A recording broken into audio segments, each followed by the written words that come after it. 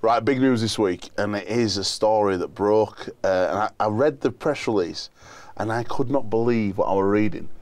Bradford leaving Bradford. It's sad, isn't it? Mate, there's a lot of history at Odsal, and Yeah. some of the best rugby league pitches of all time are at Odsal Stadium.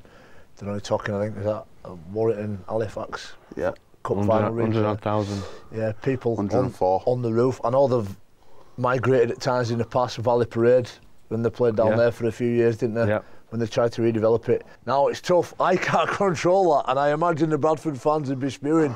I know what I'd be doing if I was in charge of rugby league now, because this is a bit out there, but I think it'd be a wonderful venue to have like a centre of excellence for England and all the England games, the training camps, the the wheelchair rugby, the women's rugby, the England Knights, the England team. Even, and this will fire a few cannons that may shoot me, we've, we've not filled Wembley for a few years now, right, properly.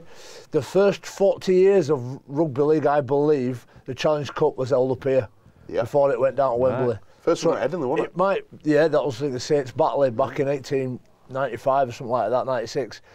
Maybe it's time until we back within our means that it comes back up here and that'd be a great universal neutral venue, right almost in the middle of the M62 to play some of those big representative and international games at. Water Roses. Just water roses, throw it out there, throw it out Challenge there. Cup final. Abuse me, I'm going to get some stick.